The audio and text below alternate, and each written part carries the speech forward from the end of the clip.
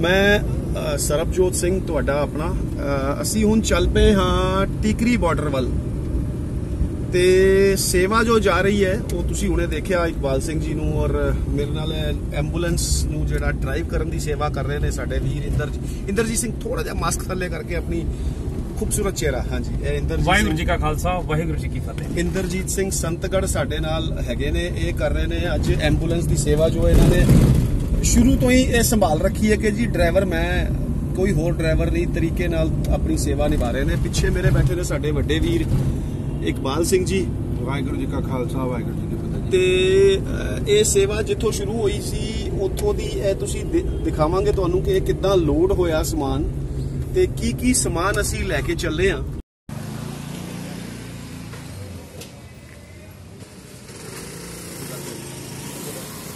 ਕਿੱਥੇ ਜਾ ਰਹੀ ਹੈ ਰਸਦ? ਕੱਲ ਗਈ ਸੀ ਸਿੰਘੂ ਬਾਰਡਰ ਜੀ ਤੇ ਅੱਜ ਕੱਲ ਟਿਕਰੀ ਤੋਂ ਫੋਨ ਆਇਆ ਸੀ ਕਿਸਾਨਾਂ ਦਾ। ਕਦ ਤੋਂ ਜਾ ਰਹੀ ਹੈ ਸੇਵਾ? ਇਹ ਪਿਛਲੇ 6 ਮਹੀਨੇ ਤੋਂ ਇਹ ਸੇਵਾ ਜਾਰੀ ਹੈ ਜੀ। ਗੁਰਦੁਆਰਾ ਸ੍ਰੀ ਗੁਰੂ ਸਿੰਘ ਸਮਾਨੀ ਮਾਵੇ ਨਗਰ ਤੋਂ ਜਿਹੜੀ ਦਿੱਲੀ ਦੀ ਸੰਗਤ ਹੈ ਮਿਲ ਜੁਲ ਕੇ ਸੇਵਾ ਕਰ ਰਹੀ ਹੈ ਜੀ। ਟਿਕਰੀ ਬਾਰਡਰ ਔਰ ਸਿੰਘੂ ਬਾਰਡਰ ਦੋਨੋਂ ਜਗ੍ਹਾ। ਕੀ ਕੀ ਭੇਜ ਰਹੇ ਹੋ ਇਕਬਾਲ ਸਿੰਘ ਵੀਰ ਜੀ? ਦੇਖੋ ਵੀਰ ਜੀ ਪਾਣੀ ਭੇਜ ਰਹੇ ਹੈਗੇ ਆ। ਤੇ ਉਹਨਾਂ ਦੀ ਪਾਣੀ ਦੀ ਰਿਕੁਆਇਰਮੈਂਟ ਸੀ ਵੀ ਟੈਲੀਫੋਨ ਆਇਆ ਪਾਣੀ। ਦੀ ਥੋੜੀ ਜਿਹੀ ਦਿੱਕਤ ਆ ਰਹੀ ਹੈ। ਗਰਮੀ ਕਰਕੇ ਪਾਣੀ ਦੀ ਜ਼ਿਆਦਾ ਲਾਗਤ ਹੈਗੀ ਹੈ। ਤੇ, ਥਾਲ ਜਾ ਰਹੇ ਨੇ ਵੀ ਜੀ ਕਿਉਂਕਿ ਡਿਸਪੋਜ਼ੇਬਲ ਜਿਹੜਾ ਖਰਚਾ ਜ਼ਿਆਦਾ ਆ ਰਿਹਾ ਸੀਗਾ ਤੇ ਲੰਗਰ ਤੋਂ ਫੋਨ ਆਇਆ ਸੀ ਜੀ ਥਾਲ ਭੇਜੋ ਤੇ ਇਹ ਥਾਲ ਦੀ ਵਿਵਸਥਾ ਕੀਤੀ ਹੈ। ਰ- ਰਸ ਹੈਗੇ ਨੇ ਰਸ ਉਹਨਾਂ ਨੇ ਮੰਗੇ ਸੀ ਤੇ ਰਸ ਦੀ ਸੇਵਾ ਜਾ ਰਹੀ ਹੈ ਜੀ। ਬਿਸਕੁਟ ਦੀ ਸੇਵਾ ਜੀ ਬਿਸਕੁਟ ਰੱਖੇ ਜਾ ਰਹੇ ਨੇ ਜੀ ਨਾਲ ਦੀ ਨਾਲ। ਇੱਥੇ ਰੱਖ ਇਹ ਯਾਰ ਰਸਤੇ ਬਿਸਕਿਟ ਹੋ ਗਏ। ਹੁਣ ਜੇ ਚਾਹ ਬਣਾਣੀ ਹੋਵੇ ਤੇ ਉਹਦੇ ਵਾਸਤੇ ਦੁੱਧ ਵੀ ਰੋਜ਼ ਦਿਓਗੇ? ਹਾਂਜੀ ਹਾਂਜੀ ਇਹ ਸੁੱਕਾ ਦੁੱਧ ਜਿਹੜਾ 5 ਕਿਲੋ ਸੁੱਕਾ ਦੁੱਧ ਦੀ ਸੇਵਾ ਵੀ ਜਾ ਰਹੀ ਹੈ ਜੀ ਸੁੱਕਾ ਦੁੱਧ, ਇਹ ਸੁੱਕਾ ਦੁੱਧ ਵੀ ਜਾ ਰਿਹਾ ਜੀ। ਫਰਨੈਲ ਵੀ ਜਾ ਰਿਹਾ ਜੀ ਮੱਖੀ ਮੱਛਰਾਂ ਵਾਸਤੇ ਕਿ ਘੋੜਿਆਂ ਦੀ ਨਾ ਜਿਹੜੀਆਂ ਮੱਖੀ ਔਰ ਮੱਛਰ ਘੋੜਿਆਂ ਦੀ ਅੱਖਾਂ ਨੂੰ ਲੱਗ ਰਹੇ ਸੀਗੇ। ਤੇ ਇਹ ਇਹ ਜਿਹੜਾ ਪਾਊਡਰ ਹੈ ਇਹ ਇਹ ਪਾਊਡਰ ਹੈਗਾ ਜੀ, ਇਹ ਘੋੜਿਆਂ ਵਾਸਤੇ ਜਿਹੜਾ ਉੱਥੇ ਛਿੜਕਾਅ ਕਰਦੇ ਨੇ, ਜਿੱਥੇ ਘੋੜੇ ਨਿੱਧ ਕਰਦੇ ਨੇ ਜਾਂ ਉੱਥੇ ਹੁੰਦਾ ਹੈ। ਤੇ ਉਸ ਵਾਸਤੇ ਇਹ ਜਿਹੜਾ ਕਿ ਪਾਊਡਰ ਜਾ ਰਿਹਾ ਤਾਂ ਕਿ ਉਹ ਛਿੜਕਾਅ ਕਰ ਦੇਣਗੇ ਤੇ ਮੱਖੀ ਮੱਛਰ ਉੱਥੇ ਨਹੀਂ ਆਉਂਦੇ ਮਤਲਬ ਗੱਡੀ ਵੀ ਤੁਹਾਡੀ ਗੁਰਦੁਆਰਾ ਸ੍ਰੀ ਗੁਰੂ ਸਿੰਘ ਸਭਾ ਰਜਿਸਟਰਡ ਨਿਊ ਮਹਾਵੀਰ ਨਗਰ ਦੀ ਹੈ ਤੇ ਪੂਰੀ ਸੇਵਾ ਗੁਰਦੁਆਰੇ ਵੱਲੋਂ ਸੰਗਤ ਦੇ ਸਹਿਯੋਗ ਦੇ ਨਾਲ ਚੱਲ ਸਹਿਯੋਗ ਦੇ ਨਾਲ। 6 ਮਹੀਨੇ ਹੋ ਚੁੱਕੇ ਨੇ ਤੇ ਕਿਸਾਨ ਆਪਣੇ ਸੰਘਰਸ਼ ਨੂੰ ਲੈ ਕੇ ਡਟੇ ਹੋਏ ਨੇ ਔਰ ਸੈਂਟਰ ਦੀ ਗਵਰਨਮੈਂਟ ਦੇ ਕੰਨਾਂ 'ਚ ਜੂੰ ਵੀ ਨਹੀਂ ਰੇਂਗ ਰਹੀ ਇਦਾਂ ਕਹਿੰਦੇ ਨੇ। ਪਰ ਵੈਸੇ ਬਹੁਤ ਕੀੜੇ ਨੇ ਸੈਂਟਰ ਦੀ ਗਵਰਨਮੈਂਟ ਦੇ ਕੰਨਾਂ 'ਚ, ਨਹੀਂ ਤੇ ਉਹਨਾਂ ਨੂੰ ਚੱਜ ਦੀ ਗੱਲ ਸੁਣਾਈ ਦੇ ਜਾਂਦੀ। ਹੋਰ ਗੱਲਾਂ ਬਹੁਤ ਸੁਣਦੇ ਨੇ, ਪਰ ਉਹ ਚੱਜ ਦੀ ਕੋਈ ਗੱਲ ਸੁਣ ਨਹੀਂ ਰਹੇ। ਤੇ ਅਸੀਂ ਜੋ ਸੇਵਾ ਲੈ ਕੇ ਚੱਲੇ ਆ, ਇਹ ਗੁਰਦੁਆਰਾ ਸ੍ਰੀ ਗੁਰੂ ਸਿੰਘ ਸਭਾ, ਨਿਊ ਮਹਾਵੀਰ ਨਗਰ ਵੱਲੋਂ ਸੇਵਾਦਾਰ ਸਾਡੇ ਵੀਰ ਇਕਬਾਲ ਸਿੰਘ ਜੀ ਤੇ ਪਹੁੰਚਾਣ ਦੀ ਸੇਵਾ ਦੇ ਵਿੱਚ ਪੂਰਾ ਸਹਿਯੋਗ ਤਨ ਮਨ ਧਨ ਦੇ ਨਾਲ ਇਹ ਸਾਡੇ ਇੰਦਰਜੀਤ ਸਿੰਘ ਸੰਤਗੜ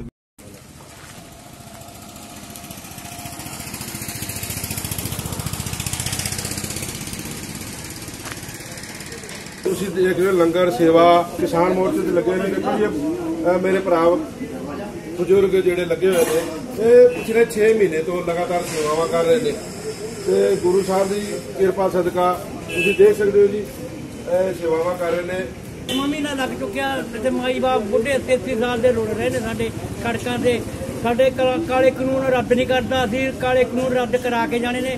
ਜਿੰਨਾ ਚਿਰ ਮਰਜ਼ੀ ਰੱਖ ਲੈ 2024 ਹਜੇ 25 ਆ ਜੇ ਅਸੀਂ ਰੱਦ ਕਰਾਏ ਬਿਨਾ ਨਹੀਂ ਹਲਦੇ। ਉਹਦਾ ਭਾਜੀ ਮੋੜ ਕੇ ਜਾਵਾਂਗੇ ਇਹਨੂੰ ਮੋਦੀ ਦੀ ਸੰਗਤ ਜੀ ਤੁਸੀਂ ਦੇਖ ਸਕਦੇ ਹੋ ਇਹ ਭੱਟੀਆਂ ਲੱਗੀਆਂ ਵੱਡੀਆਂ ਵੱਡੀਆਂ ਭੱਟੀਆਂ ਲੰਗਰ ਦੀ ਸੇਵਾ ਜਿਹੜੀ ਹੈ ਪਿਛਲੇ 6 ਮਹੀਨੇ ਤੋਂ ਲਗਾਤਾਰ ਨਿਰੰਤਰ ਚੱਲ ਰਹੀ ਹੈ ਤੇ ਆਉਣ ਵਾਲਾ ਜਿਹੜਾ ਹੁਣ 7ਵਾਂ ਮਹੀਨਾ ਲੱਗ ਚੁੱਕਾ ਹੈ।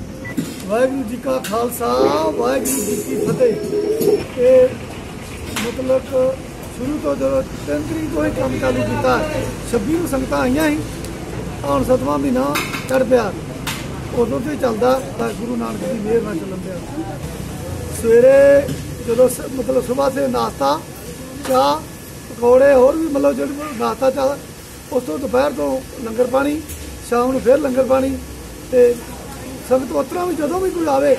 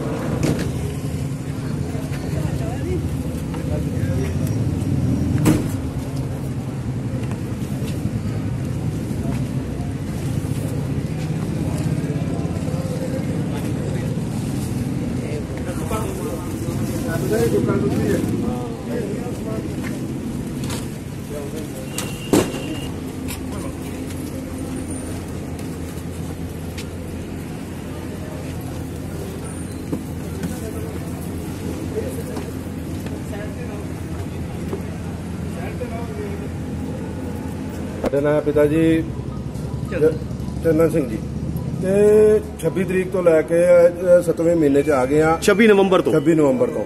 ਤੇ ਇਹ ਸਿਰਫ 15 ਦਿਨ ਵਾਸਤੇ ਪਿੰਡ ਗਏ ਨੇ ਸਿਰਫ ਕਣਕ ਦੀ ਜਿਹੜੀ ਸੰਭਾਲ ਕਰਨ ਵਾਸਤੇ। ਕਿੱਥੋਂ ਆਉਂਦੇ ਨੇ ਜੀ? ਇਹ ਗੁਰਦਾਸਪੁਰ ਤੋਂ।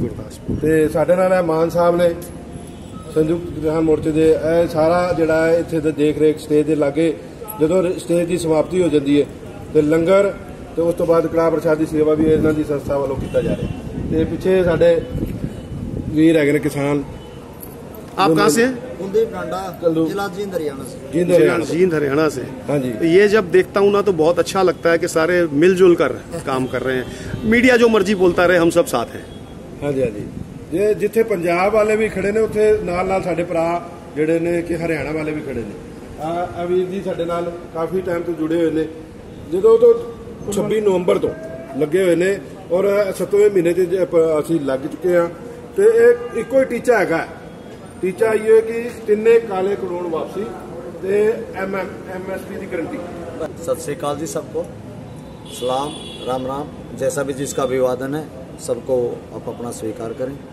यहाँ आज 188 दिन हमारे को हो चुके हैं ये टिकरी बॉर्डर है एन एस टेन जो पुराना होता था और सबसे ज़्यादा कट इसी बॉर्डर पे है बॉर्डर तो इसको इसलिए कह रहे हैं कि आज दिल्ली में बैठी हुई जो केंद्र की सरकार है, उसने आरसीसी की वाल निकाल दी। एक ऐसी दीवार जो सरिया सीमेंट कंक्रीट की है, जो पाकिस्तान बॉर्डर पे भी नहीं है। अब इसको क्या कहें? कैसे इसका मैं विस्तार से बता पाऊँ? हमारे को खुद नहीं समझ में आता है कि ये दो देश बनाना चाह रहे हैं। अलगाववादी ये हमारे को कहते हैं, आतंकवादी ये हमारे को कहते हैं। ये क्या है? ये कौन लोग बैठ गए गद्दी पे? ये लोग कौन बैठ गए सत्ता पे? जो लड़ाई हमने लगभग एक साल से शुरू की है, पहले पंजाब में चली, फिर हरियाणा में भी अलग अलग जगह प्रदर्शन होके, और अभी लगातार एक सौ अठासी दिन से बॉर्डरों पे, जो दिल्ली के बॉर्डरों पे बैठे हैं। और इस देश का मीडिया एक अलग ही संदेश देना चाहता है। कैसे समझेंगे लोग? क्यों नहीं समझते हैं लोग? ये जो सरकार में बैठ गए हैं, ये पूंजीपतियों के दल्ले हैं, इसके अलावा कुछ नहीं है। ਮੈਂ ਕੁਲਵੰਤ ਸਿੰਘ ਮੌਲਵੀ ਵਾਲਾ ਮੀਤ ਪ੍ਰਧਾਨ ਕੁੱਲ ਹਿੰਦ ਕਿਸਾਨ ਸਭਾ ਪੰਜਾਬ, ਡਿਸਟ੍ਰਿਕਟ ਪਟਿਆਲਾ। ਅਸੀਂ 26 ਨਵੰਬਰ ਤੋਂ ਜਦੋਂ ਤੋਂ ਇਹ ਸੰਘਰਸ਼ ਚੱਲਿਆ ਹੈ, ਪਹਿਲਾਂ ਲਗਾਤਾਰ 3 ਮਹੀਨੇ ਪੰਜਾਬ 'ਚ, ਉਸ ਤੋਂ ਬਾਅਦ ਅਸੀਂ ਲਗਾਤਾਰ ਦਿੱਲੀ ਦੇ ਬਾਰਡਰਾਂ ਤੇ, ਸਿੱਗੂ ਬਾਰਡਰ ਤੇ, ਟਿਕਰੀ ਬਾਰਡਰ ਤੇ ਹੀ ਮੇਨ ਮੇਰੀ ਜਥੇਬੰਦੀ ਵੱਲੋਂ ਡਿਊਟੀ ਹੈ। ਔਰ ਲਗਾਤਾਰ ਇਸ ਸੰਘਰਸ਼ ਦੇ ਵਿੱਚ ਅਸੀਂ ਆਪੋ ਆਪਣੀਆਂ ਜਥੇਬੰਦੀਆਂ 32 ਜਥੇਬੰਦੀਆਂ ਵੱਲੋਂ ਇਕੱਠੇ ਹੋ ਕੇ ਇਹ ਸੰਘਰਸ਼ ਵਿੱਢਿਆ ਹੋਇਆ ਔਰ ਸਾਡਾ ਇਹ ਸੰਘਰਸ਼ ਜਿੱਤ ਤੱਕ ਜਾਣਾ, ਜਿੱਥੋਂ ਤੱਕ ਨਰਿੰਦਰ ਮੋਦੀ ਦਾ ਸਵਾਲ ਹੈ, ਉਹ ਜਿੰਨੇ ਮਰਜ਼ੀ ਅੜਿੱਕੇ ਡਾਲੇ, ਜਿੰਨਾ ਮਰਜ਼ੀ ਸਾਡੀਆਂ ਗੱਲਾਂ ਨੂੰ ਅਣਸੁਣੀਆਂ ਕਰ ਲੈ ਪਰ ਲੋਕ ਉਹਨੂੰ ਮਜਬੂਰ ਕਰ ਦੇਣਗੇ ਸਾਡੀ ਗੱਲ ਮੰਨਣ ਵਾਸਤੇ ਔਰ ਜਿਹੜੇ ਕਾਲੇ ਕਾਨੂੰਨ ਬਣਾਏ ਨੇ ਜੇ ਬਿਜਲੀ ਦਾ ਕਾਨੂੰਨ ਬਣਾ ਰਿਹਾ ਉਹਨੂੰ ਵਾਪਸ ਲੈਣ ਵਾਸਤੇ ਅਸੀਂ ਬੇਵਸ ਕਰ ਦਿਆਂਗੇ ਇਸ ਸਰਕਾਰ ਨੂੰ ਔਰ ਜਿੰਨਾ ਚਿਰ ਇਹ ਕਾਲੇ ਕਾਨੂੰਨ ਵਾਪਸ ਨਹੀਂ ਹੁੰਦੇ ਕਿਸਾਨ ਜਥੇਬੰਦੀਆਂ ਦਾ, ਕਿਸਾਨ ਸੰਯੁਕਤ ਮੋਰਚੇ ਦਾ ਜਿਹੜਾ ਸੰਘਰਸ਼ ਹੈ, ਇਹ ਲਗਾਤਾਰ ਜਾਰੀ ਰਹਿਣਾ ਹੈ। ਉਹਨਾਂ ਚਿਰ ਕੋਈ ਦੁਨੀਆ ਦੀ ਤਾਕਤ ਨਹੀਂ ਇਹਨੂੰ ਰੋਕ ਸਕਦੀ। ਔਰ ਸਾਡੇ ਸੰਘਰਸ਼ ਦਾ ਜਿਹੜਾ, ਉਹ ਹੁਣ ਪੰਜਾਬ ਹਰਿਆਣਾ ਤੱਕ ਸੀਮਿਤ ਨਹੀਂ ਰਹਿ ਗਿਆ। ਇਹ ਕਿਸਾਨ ਸੰਘਰਸ਼ ਹੈ ਜਿਹੜਾ, ਉਹ ਸਾਰੇ ਭਾਰਤ ਵਿੱਚ ਫੈਲ ਰਿਹਾ ਹੈ। ਔਰ ਦੁਨੀਆ ਵਿੱਚ ਇਸ ਅੰਦੋਲਨ ਦੇ ਜਿਹੜੇ, ਉਹ ਚਰਚਾ ਹੋ ਰਹੀ ਹੈ ਦੁਨੀਆ ਦੇ ਵੱਖ-ਵੱਖ ਦੇਸ਼ਾਂ ਦੇ ਵਿੱਚ। ਔਰ ਦੁਨੀਆ ਭਰ ਵਿੱਚ ਚੱਲੇ ਜਿਹੜੇ ਵੱਡੇ ਅੰਦੋਲਨ ਹੈ ਉਹਨਾਂ ਵਿੱਚ ਆਹ ਕਿਸਾਨ ਸੰਘਰਸ਼ ਅੰਦੋਲਨ ਹੈ ਜਿਹੜਾ ਉਹਨਾਂ ਵਿੱਚ ਸ਼ਾਮਲ ਹੋ ਰਿਹਾ ਹੈ मेरा नाम धर्मवीर सिंह है एक्स आर्मी से हूँ मैं हम जीएसओ में ड्यूटी करते हैं गांव भोगपुर जिला रोहतक हम 27 नवंबर से यहाँ इन किसानों के सेवा में लंगर लगा दिया हमने और सेवा में डट रहे हैं सरकार बोलती थी सर्दी में भी हलवा खा रहे हैं गाजर पाक खा रहे हैं दूध पी रहे हैं ये पी रहे हैं कहाँ से आ रहे हो हमारे घर से आ रहे हैं हमारी माताएं हैं बहनें हैं वो घर से भेज रही है खेतों से हम सब्जी ला रहे हैं जहाँ सर किसानों को दे रहे हैं उनको दर्द होता है ये क्यों खा रहे हैं क्यों पी रहे हैं? क्योंकि हमारा पैदा करते हैं हम खा रहे हैं फिर भी उनको दर्द हो रहा है। इसलिए हम लगे रहेंगे खेतों में पैदा करेंगे यहाँ लाएँगे यहाँ खाएँगे हलेंगे नहीं जब तक। सरकार नहीं मानेगी जब तक। वाकई ताऊ आपने ना बड़ा मान बढ़ाया जी हमारा सबका। वाकई जो इन्होंने आज बात की है वो प्रेम का जो संदेश इन्होंने दिया है ये आंदोलन सिर्फ़ क्रांति का नहीं है सिर्फ़ एक प्रेम का संदेश भी सारी जगह दे रहा है। ट्रेनों के बटिया से भी पे हैं। 2 ਮਹੀਨੇ ਤਿੰਨ। ਹੁਣ ਅਸੀਂ ਮੋਦੀ ਨੂੰ ਕਹਿਣਾ ਚਾਹੁੰਦੇ ਆ ਕਿ ਸਾਨੂੰ ਅੱਤਵਾਦੀਆਂ ਤੇ ਵੱਖਵਾਦੀਆਂ ਨਾ ਕਹਿ। ਕਿਉਂ? ਸਾਡੇ ਬਾਰਡਰਾਂ ਤੇ ਜਵਾਨ ਸ਼ਹੀਦ ਹੋ ਰਹੇ ਆ। ਜਾਂ ਤਾਂ ਉਹਨਾਂ ਨੂੰ ਵੀ ਅੱਤਵਾਦੀਏ ਬਣਾ। ਪਹਿਲਾਂ ਅਸੀਂ ਟ੍ਰੇਨਾਂ ਦੇ ਵਟਿਆਂ ਤੇ ਬੈਠੇ ਆ ਗਾਰਡਰਾਂ ਤੇ ਬੈਠੇ ਆ ਪਰ ਹੁਣ ਅਸੀਂ ਬਾਰਡਰਾਂ ਤੇ ਆਣ ਕੇ ਮੋਦੀ ਦੀ ਧੌਣ ਤੇ ਗੋਡਾ ਰੱਖ ਕੇ ਤੇ ਫੇਰ ਬਹਿਣਾ ਹੈ।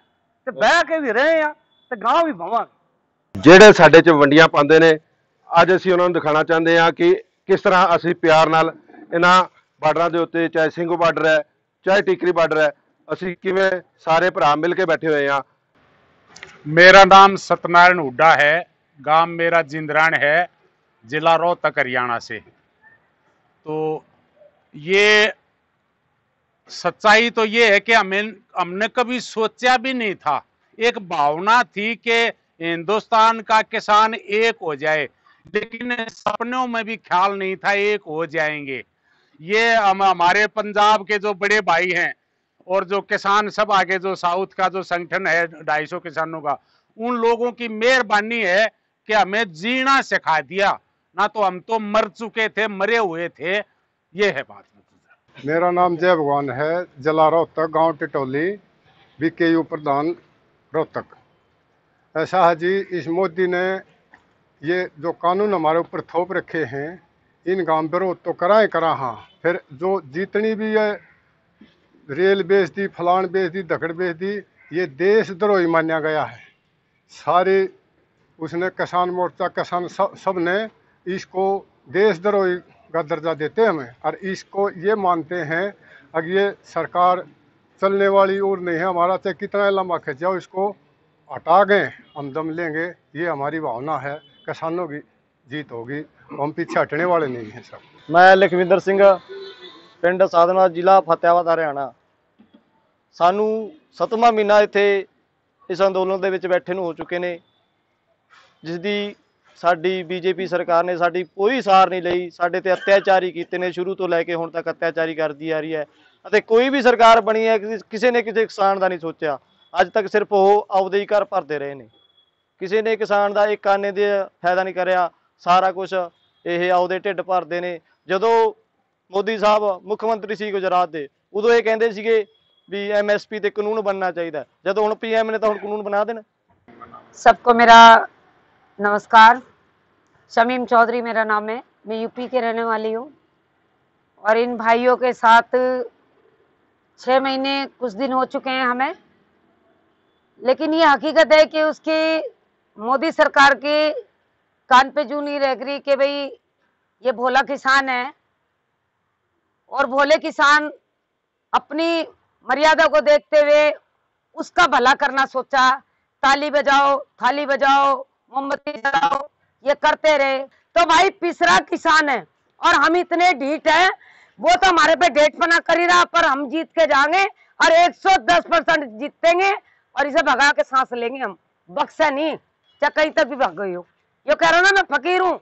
मैं तो चाह के ठा के झोला भाग लूंगा तो हमारे से ज्यादा फकीर कौन होगा अरे सीना धरती का पाड़ के हम उन्हें अन्न उगा के और रोटी दे- जनता खाती है रोटी के लिए हम मर रहे हैं यहाँ और वो उसे शर्म नहीं आती जरा सी भी ਹੁਣੇ ਇੱਕ ਭਰਾ ਨੇ ਨਾ ਇੱਕ ਗੱਲ ਕਹੀ ਜਿਹੜੀ ਦਿਲ ਨੂੰ ਛੂ ਗਈ ਹੈ ਕਹਿੰਦੇ ਵੀ ਜਦੋਂ ਆਜ਼ਾਦੀ ਮਿਲੀ ਹੈ 1947 ਤੋਂ ਬਾਅਦ ਇਹ ਹਾਲਾਤ ਬਣ ਗਏ ਨੇ। ਇਹਦੇ ਨਾਲ ਚੰਗਾ ਤੇ 1947 ਤੋਂ ਪਹਿਲਾਂ ਦੇ ਹਾਲਾਤ ਚੰਗੇ ਸੀਗੇ।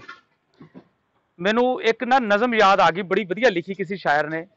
ਕਹਿੰਦੇ, ਸਾਡੇ ਬਾਬੇ ਲੀਕਾਂ ਚੁੰਮੀਆਂ, ਸਾਨੂੰ ਮੱਤ ਕੀ ਆਉਣੀ? ਅੰਗ ਲਮਕਣ ਨੰਗੀ ਤਾਰ ਤੇ ਵਿੱਚ ਰੱਤ ਕੀ ਆਉਣੀ? ਅਸੀਂ ਝੂਠੋ ਝੂਠੀ ਖੇਡ ਕੇ ਇੱਕ ਸੱਚ ਬਣਾਇਆ, ਫਿਰ ਉਸ ਨੂੰ ਧਰਮੀ ਲਹਿਰ ਦਾ ਇੱਕ ਤੜਕਾ ਲਾਇਆ। ਅਸੀਂ ਪਾਕ ਪਲੀਤੇ ਪਾਣੀਆਂ ਵਿੱਚ ਰਿੱਝਦੇ ਜਾਈਏ, ਕਦੇ ਹਸੀਏ ਘੂਰੀ ਵੱਟ ਕੇ ਜਾਂ ਖਿੱਚਦੇ ਜਾਈਏ। ਫਿਰ ਉਸ ਤੋਂ ਬਾਅਦ ਜਿਹੜੀ ਉਹਨੇ ਗੱਲ ਕਹੀ ਹੈ ਨਾ, ਉਹ ਗੱਲ ਜਿਹੜੀ ਆ ਬਿਲਕੁਲ ਦਿਲ ਨੂੰ ਛੂ ਜਾਂਦੀ ਹੈ। ਕਹਿੰਦਾ ਵੀ ਸਾਨੂੰ ਆਣ ਅੰਗਰੇਜ਼ਾਂ ਰੋਲਿਆ ਸਾਡੇ ਬਾਬੇ, ਕਹਿੰਦੇ ਸਾਨੂੰ ਸੱਜਾ ਹੱਥ ਵਿਖਾ ਕੇ ਮਾਰੀ ਸੂ ਖੱਬੀ, ਅਸੀਂ ਜੰਨਤ ਵੱਲ ਨੂੰ ਭੱਜ ਪਏ ਤੇ ਦੋਜਕ ਲੱਭੀ। ਇਹ ਹਾਲਾਤ ਸਾਡੇ ਕਿਸਾਨ ਵੀਰਾਂ ਦਾ ਜੋ ਹੋ ਗਿਆ। ਇਹ ਵਾਕਈ 1947 ਵਿੱਚ ਜਿਹੜੀ ਕਵਿਤਾ ਬਣੀ ਸੀ ਨਾ, ਮੈਨੂੰ ਤੇ ਇਹ ਵੇਖਣ ਨੂੰ ਹੀ ਮਿਲ ਰਿਹਾ ਹੈ ਕਿਉਂਕਿ ਜਿਤਨਾ ਪਾਕਿਸਤਾਨ ਦੇ ਬਾਰਡਰ ਦੇ ਜੋ ਹਾਲਾਤ ਨੇ ਨਾ, ਇੱਥੇ ਸਾਹਮਣੇ ਇੱਕ ਦੀਵਾਰ ਵੀ ਖੜੀ ਕਰ ਦਿੱਤੀ ਗਈ ਹੈ। ਤੇ ਜਿਹਦੇ ਵਿੱਚ ਨਾ ਸਿੱਧੇ ਤਰੀਕੇ ਦੇ ਨਾਲ ਇੱਕ ਹੋ ਗਿਆ ਵੀ ਇਧਰਲੇ ਪਾਸੇ ਕਿਸਾਨ ਨੇ ਤੇ ਦੂਸਰੇ ਪਾਸੇ ਨਾਗਰਿਕ ਨੇ।